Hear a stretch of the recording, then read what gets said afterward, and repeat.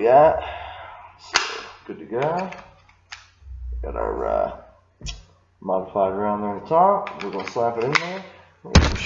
This bucket, which is filled with very wet mud, which is compacted. There's a big stone laying on the top of it, and uh, we will go ahead and do that for you. Huh?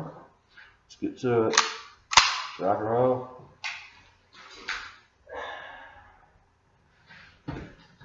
Get that y'all. Love.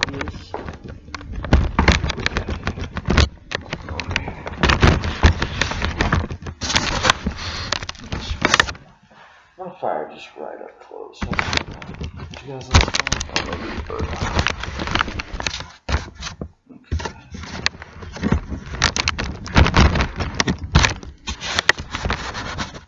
With the dangle.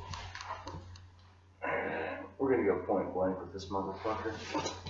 Straight up. Let's go.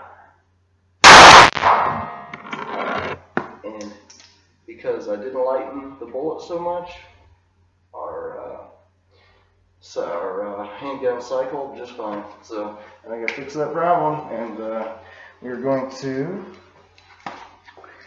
check that out. What I've got is a big ass bucket of mud with, uh, yeah, see it's leaking water. Did it come out the back? No, it did not. It leaks all over the place. Take it out in the backyard and check it, and I will post another video. Peace. Bless America.